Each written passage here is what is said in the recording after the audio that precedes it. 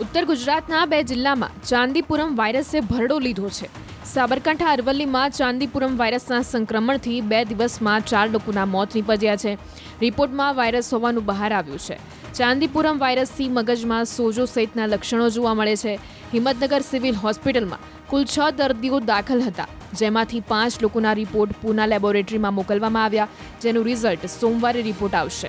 દર્દીઓમાંથી સાબરકાંઠાના ખેડ બ્રહ્મામાં એક અરવલ્લીમાં બેના મોત, જ્યારે અન્ય એક વ્યક્તિના મોતના પણ અહેવાલ છે, જ્યારે હજુ એક વ્યક્તિનો રિપોર્ટ મોકલવાનું બાકી છે. નવા વાયરસને લઈને આરોગ્ય વિભાગ હરકતમાં આવ્યું છે.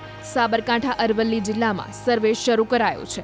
અસરગ્રસ્ત દર્દીઓના ઘરે અને વિસ્તારમાં સર્વેની કામગીરી ચાલી રહી છે. ઉચ્ચ અધિકારીઓની મિટિંગ પણ બોલાવાઈ છે, જેમાં વાયરસને લઈને ચર્ચા કરાઈ. સાથે જ સંક્રમણ અટકાવવા કામગીરી શરૂ કરી દેવાઈ છે.